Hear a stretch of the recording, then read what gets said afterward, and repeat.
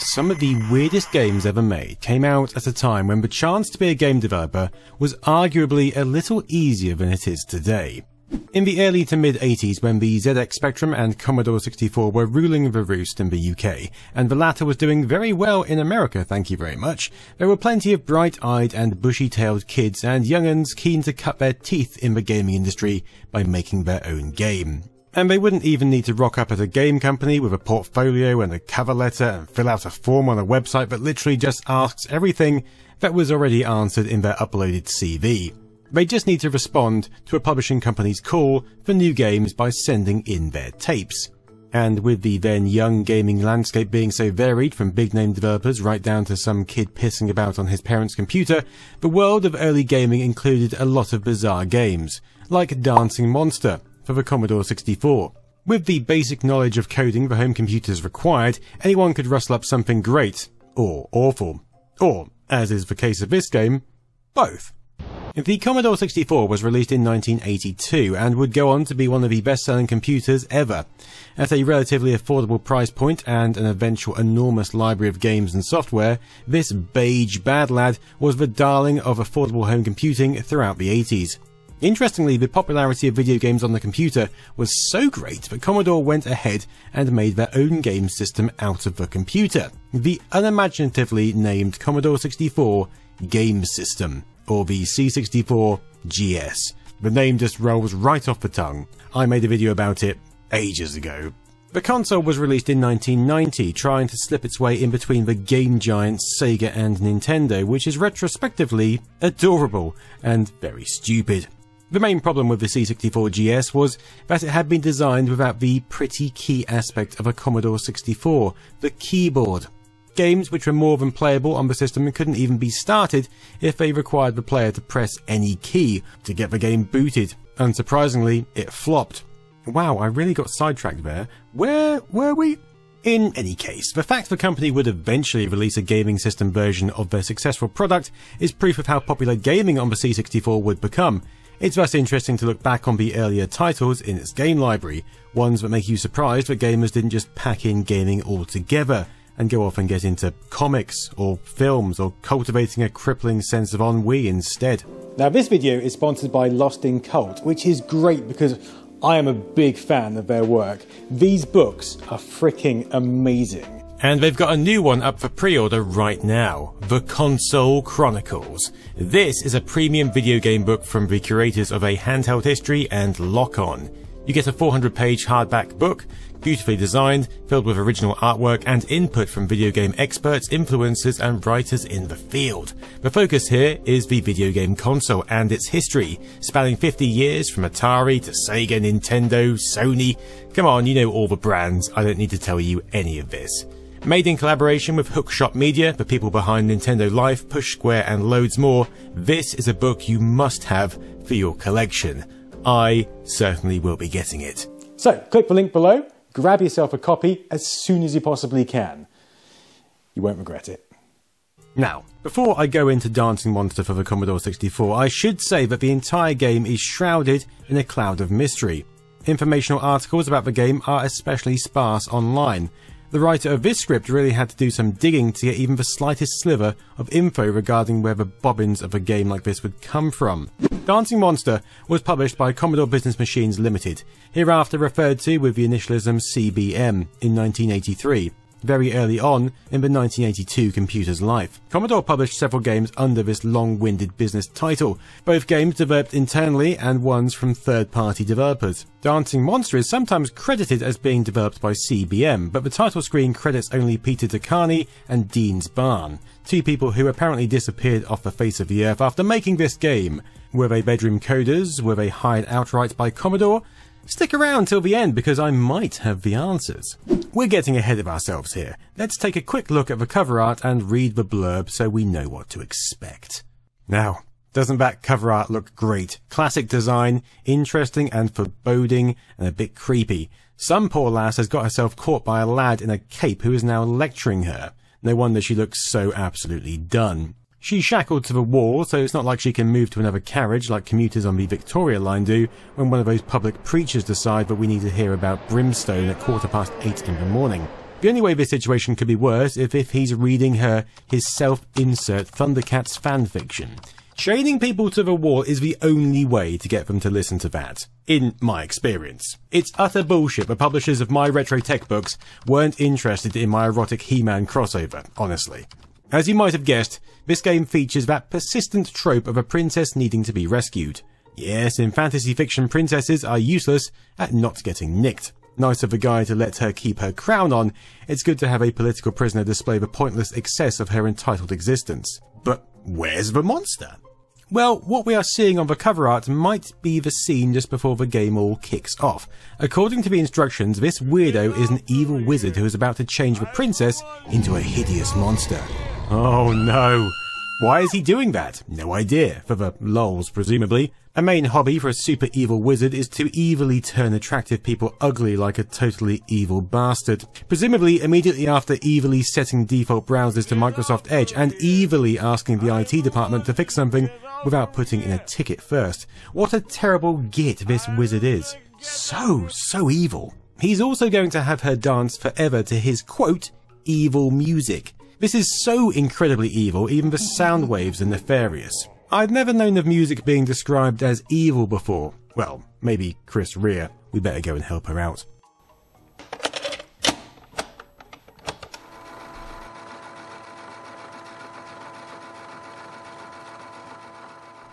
What a lovely title screen. Unassuming, simple. Our two developers get name checked right away. They must be very proud of their work.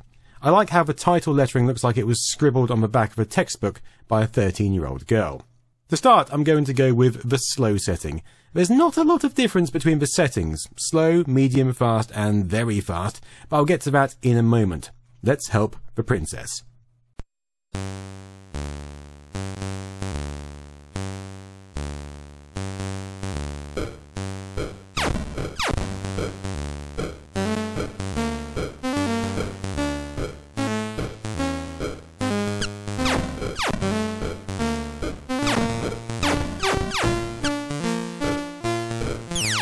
The monster the super evil wizard turned this poor girl into is indeed utterly horrifying.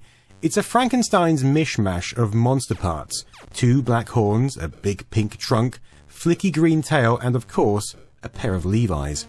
You know, Levi jeans, a common part of any monster anatomy. Now that the princess has been turned into this purple elephant monster, she's cursed to keep dancing to the evil music we were told about, and she really does move. The girl could utterly cut up the dance floor on a Friday night. Her talents are being wasted here in this very brown place. Where is she? Is she dancing in a field of mud? Oi mate, you're gonna ruin your Levi's! The poor thing has messed up her lipstick too. To be fair to her, it must have been hard to put that on with the big trunk in the way, but it's nice even looking how she does, but she's attempted to take some pride in her appearance. She's got a blue tongue too. That means she's either got cyanosis, which is an illness from lack of oxygen in the bloodstream, or she's just downed a bottle of WKD Blue. Judging by how she's dancing, I think it's the latter. By the way, no one tell YouTube that this is a female character. She is topless and her nipples are showing and are, according to terms of service, offensive and need blurring. Yes, even pixel nipples have a double standard. Ridiculous, isn't it? Where did those jeans come from? She's not wearing them on the cover art. Did the evil wizard magic them onto her because they are a terrible fit? Just to add insult to injury? They look like the kind of jeans you'd see on a white middle-aged dad. I think I've got a pair to be honest. She ought to have bright white trainers, reflective sunglasses, and a rolled up leaflet in her hand to complete the 50 year old dad at Disneyland look. So, how are we going to help her? Well, we're going to shoot her. Yes, taking a leaf right out of certain law enforcement books, we're going to defuse the situation by offloading bullets into it. On the Commodore 64, you wouldn't be able to play this without a joystick. You move the cursor around and try and shoot particular parts of the princess's body, which is harder than it looks because she's clearly three WKD blues deep and Grease Megamix has just come on in the club. I've got chills, you're terrifying. On the top is an indicator which goes down the longer you leave it between shots. Stop shooting and you lose the game, but keep constantly shooting and parts of her body that you shoot off will grow back. This means you must be accurate. No frantic button mashing here. You need to be shooting the parts of the body indicated up here. So now I need to shoot the horns. Now the trunk. Now the ears. This is utter nonsense. What the The body parts always need to be shot off in an order, unless one of them grows back seemingly at random. If you're quick enough and none of the parts go back, the order is horns, ears, trunk, tongue, arms, tail, then legs. If she wasn't horrifying enough, the nightmare fuel that presents itself once you get that trunk off is truly something to behold.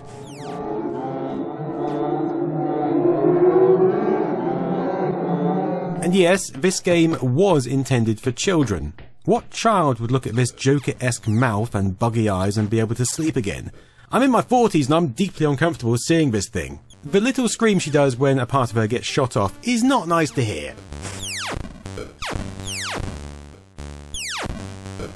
Thankfully, it's drowned out by the evil music, namely a modified version of Edward Grieg's In the Hall of the Mountain King. It's nice to hear the first time around and is certainly fitting with the overall experience, I guess, but it does get annoying after the millionth loop. Look at this. I'm playing a kids game in which I'm watching a terrified armless torso of a girl wobble and gyrate back and forth in jeans. This is straight out of a best score video. Look at this and tell me there's a god. Go on, do it.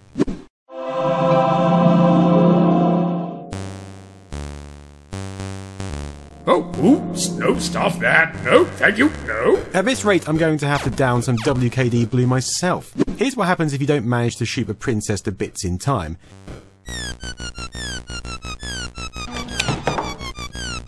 Still in her monster form, she trudges dejectedly off the screen. Where is she going? To attack the nearest village? To be chased by angry peasants wielding pitchforks? Or maybe to lob herself into oncoming traffic? Who knows? What in the absolute sh... The difference between slow mode and very fast mode isn't that great. The latter is certainly harder, but only because she moves around a lot more rather than a huge amount quicker. That being said, it's still winnable in a couple of minutes. It's not an especially difficult game. Once you know the order and her dance moves, you're good to go. While the dancing itself is randomized and you can't necessarily tell what move she's going to throw out next, some moves she does tend to repeat for a few bars. For example, when she wiggles her tail at you like this, the moves are short, but more than long enough for you to position your cursor and shoot at the right moment. And once you've shot off all the pieces, here you go, the windscreen.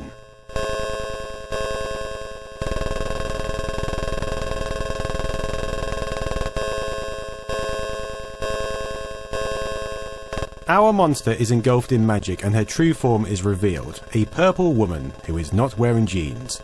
She doesn't look hugely pleased at being saved, but she's probably very hungover. And that's it. No little message of congratulation, no update on what the evil wizard is up to now, just one purple princess staring at you from a blue screen. Fantastic.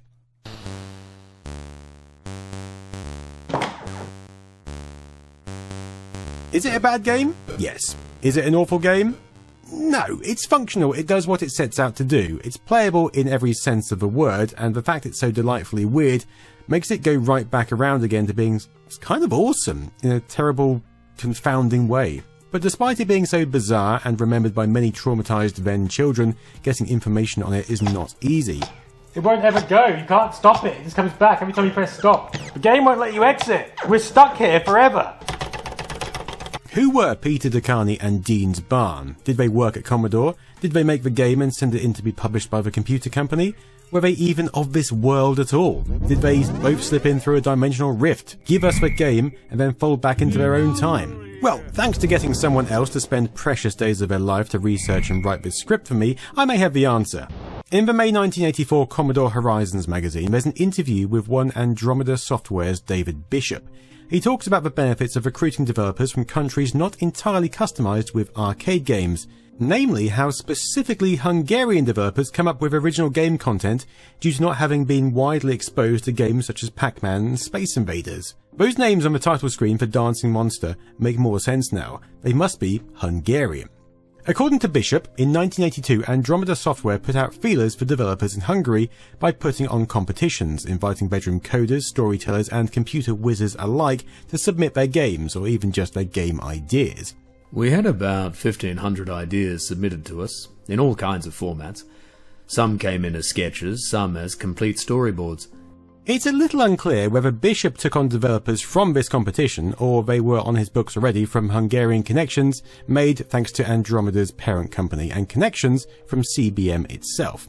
In any case, the plan was to develop software which would then be licensed to external software houses. Andromeda would act as a sort of intermediary, if you will. Parent company Vulcan Media's managing director, Robert Stein, a Hungarian himself, notes that some of the games Andromeda were working on had aspects of Hungarian character in the concepts and characters. This is when he mentions Dancing Monster specifically, saying, In Commodore's Dancing Monster, we have the ridiculous dancing creature with the elephant's trunk. This is supposedly typical of Hungarian sense of humour. I did try to find out if the terrifying elephant nosed creatures have some sort of satirical meaning in Hungary, but was unsuccessful. Or maybe the wearing of the jeans is a joke. According to some articles, which I'll link in the description, blue jeans first rocked up in Hungary in the 1960s and were super hard to get hold of because of a lack of cheap production methods, and a bit of a crackdown on anything indicative of Western culture influences. By the time this game was released, however, jeans were so popular with the general public that local manufacturers made a point of getting hold of a license to make brand name products. So, if you're Hungarian and can enlighten us on what in the utter bobbins the significance of jeans in Dancing Monster is, please do so in the comments. The story of a princess being cursed to dance while being a monster is certainly more reminiscent of a fairy tale. There is a fairy tale apparently popular in Hungary. Originally told in Denmark, the story The Princess in the Chest has various versions across Europe. It is retold in Hungary as a popular story for children about a princess who turns into a monster every night. A king and a queen were desperate to have a child. So desperate that the queen went to a witch for help. The witch told her that if she ate a bud from a special tree, she would bear a daughter. But if anyone but the little girl's nurse set eyes on her before her 14th birthday, the king would need to choose one of three things to bring her to life again a pestilence, a devastating war, or putting the girl's dead body in a coffin, which must be watched over each day for a year. Just a day before her 14th birthday, the king could not take it any longer. He glimpsed his daughter, and now she was cursed. Panicking, he chose to lay her now dead body into a wooden coffin. Setting a soldier to guard the crypt, he retired to mourn. Every morning, all that was left of the sentinel was a pile of bones. One day a stranger came to town looking for work. The soldiers got him drunk and convinced him to take the king's job of guarding the princess's coffin.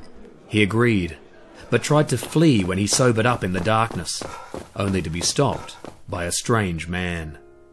The man told him that he must hide in the pulpit and stay there until he heard the coffin lid slam. In the crypt, the stranger hid in the pulpit. He heard the coffin lid smash open. The princess, skeletal and pale, lurched in the darkness looking for the sentinel. But when midnight struck, she returned to her coffin. The next night, the man told the stranger to stay at the altar and hold a prayer book. Sure enough, the monstrous princess could not find the stranger and returned to her grave. On the third night, the man told the stranger to hide in the monster's coffin. So he did, slamming the lid closed after her corpse began stalking the stones. She screamed, begged, thumped on the coffin lid, but he did not open it. When dawn came, the stranger opened the coffin lid to see the princess, human and very much alive, sleeping on the sun drenched stones. There you go. A popular fairy tale about a princess who turns into a monster. Another popular Hungarian folktale is a retelling of another European favourite fairy tale, The Twelve Dancing Princesses. There once was a king who had twelve daughters. All but one of the princesses wore out many pairs of shoes each night, and the king had no idea why. He promised the twelfth princess in marriage to the first man who could expose the secret. One day, a shepherd boy came to the court with secrets of his own a pelt that could turn him invisible, and a bag that could never be filled. That night he donned the pelt and sneaked into the princess's room. That's when he saw a spirit fly in through the window and wake all but the twelfth princess. Excited, they started to get ready. The shepherd awoke the final, now confused princess. Her sisters were worried that she would tell the king their secret, so they invited her along for the night. They first came to a copper forest, then onto a silver forest, and finally a golden forest. At each one they drank from copper, silver, and finally gold cups. Unseen, the shepherd took a cup from each into his bottomless bag. They arrived at a great mountain. The spirit tapped the rocky face with a wand, and it split open to reveal a lavish ballroom full of magical creatures dancing. The princesses danced all night, wearing out many pairs of shoes. When the sun peeked through the clouds, the eleven princesses and the confused twelfth princess rushed back into their beds as if they had slept all night. The shepherd went to the king and told him what he had seen, showing the cups as proof. Satisfied, the king gave him his twelfth daughter in marriage. The eleven dancing princesses weren't so lucky. The king had them burned alive. That's the only bit of Hungarian folklore concerning a dancing princess the writer of this script could find. Cute, isn't it? Are those popular Hungarian fairy tales influences on Dancing Monster? Possibly. I'd like to think the creators of Dancing Monster were making their own slant on the whimsical tales they heard as children, with the express purpose of traumatizing a whole new generation with a trunk faced dancing monster. Bishop says that the games Andromeda made all started off with a storyboarded game idea, then the appropriate developers were brought on and the details were ironed out. After that, Andromeda would set up a bidding war between software houses. That must mean that Commodore itself saw this utter horror and for some reason smashed their money down on the table. Sold! Although Bishop says Andromeda wouldn't simply accept the biggest bid, they would always take into account the distribution network and publisher's commitment to the game itself, he notes specifically that Commodore, despite having secured Dancing Monster, didn't do very much promotion, you know, despite it being, quote, A very good game. Okay, mate, sure. At the article's publishing, a comparatively massive 180 people combined were working on games for Andromeda. Are two credited individuals for Dancing Monster among them. And that's where the trail ends. The writer of this script could not find out if either of them were the ones responsible for the idea or the extent to which either of them developed the game. In 1983, Commodore released Dancing Monster as part of a compilation edition of five fantasy based games, just to really make sure as many children were traumatized as possible. And that's Dancing Monster, one of the weirder retro games you'll find yourself exposed to. Until next time, I've been Nostalgia Nerd. Toodaloo.